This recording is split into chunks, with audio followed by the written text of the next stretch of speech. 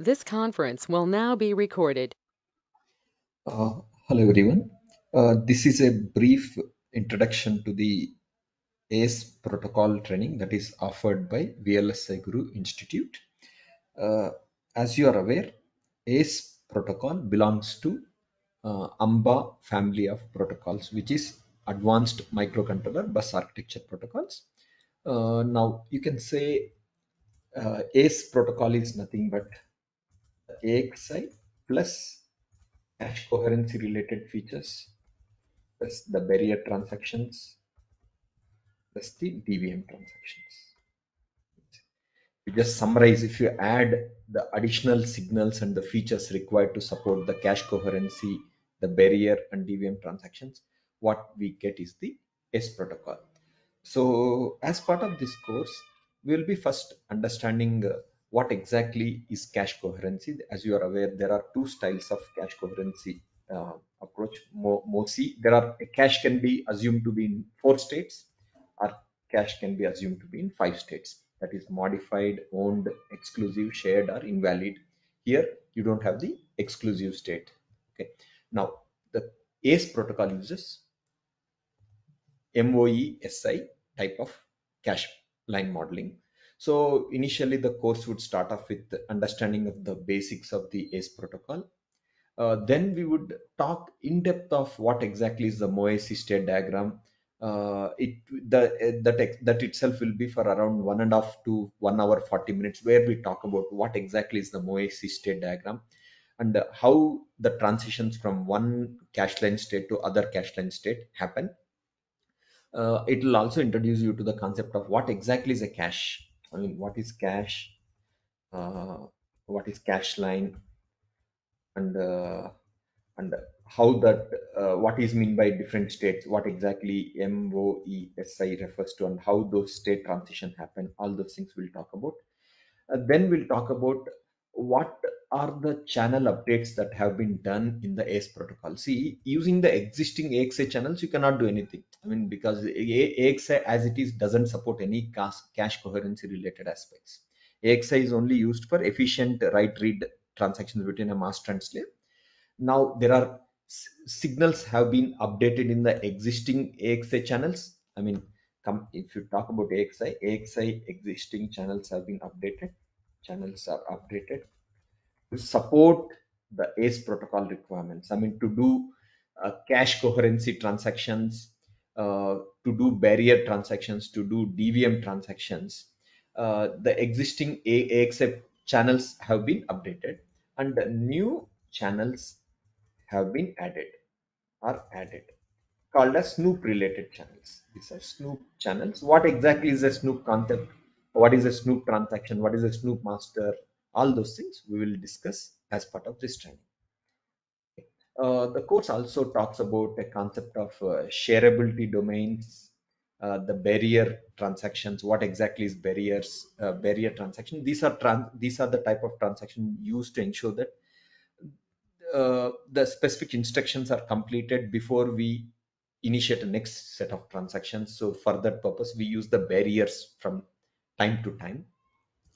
Then we'll also talk about uh, distributed virtual memory basics transaction, which relates to that uh, distributed virtual memory maintenance, like maintenance of the uh, page table invalidation, the page look aside buffer invalidations, and uh, the physical and virtual cache line uh, invalidations. All those things is what DVM talks about then we'll talk we'll take each of the ACE channels the existing AXI channel updates and the new channels. Will talk deep into each of these ACE signal descriptions.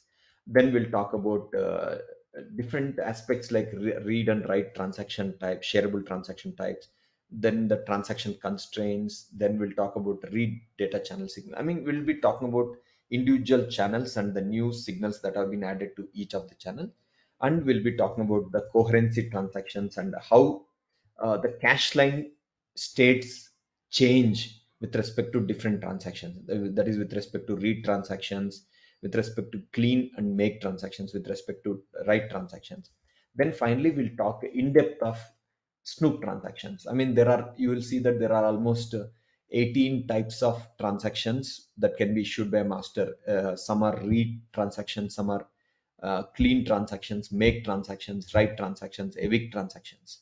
These all transactions are targeted towards the cache maintenance and updating of the cache line states.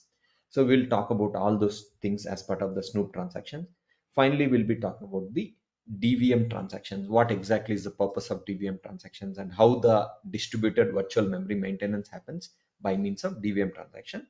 I believe it should be roughly around uh, uh, 8 to 10 hours course. I mean, uh, based on my understanding, around 8 to 10 hours course, which covers the in depth of uh, the ACE protocol.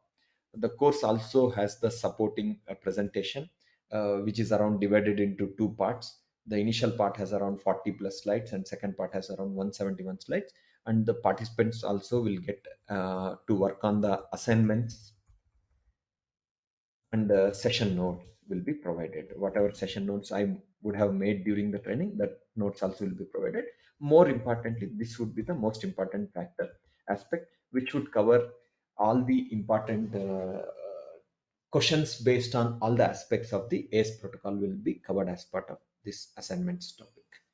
Uh, overall, uh, anyone who is going to work into some complex SOCs, uh, I could say multi-core SOCs, multi-core process subsystem, ACE protocol would be a very good uh, starting point for them. I, I would even go to the point of saying that ACE kind of protocols would be the uh, some of the very important protocol for any design and verification engineer because all the future uh, design implementation would, would definitely involve some kind of cache coherency, cache maintenance and cache coherency. Uh, so ACE is the basic protocol that anyone should know uh, for uh, for those who want to learn and gain expertise with respect to cache coherency. I mean, you talk about ACE, you talk about uh, uh, CHI protocol, or you talk about CXL protocol. They all deal with respect to cache coherency major aspect of these all these protocols is the cache coherency. I mean, of course, I would say CHI is a, a little advanced version of the ACE.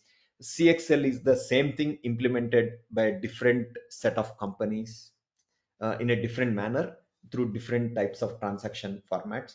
So, but once you know ACE, you can easily learn CXL kind of protocols. Okay, that is the importance of ACE protocol. Even from a, a job interview perspective, it could be quite useful.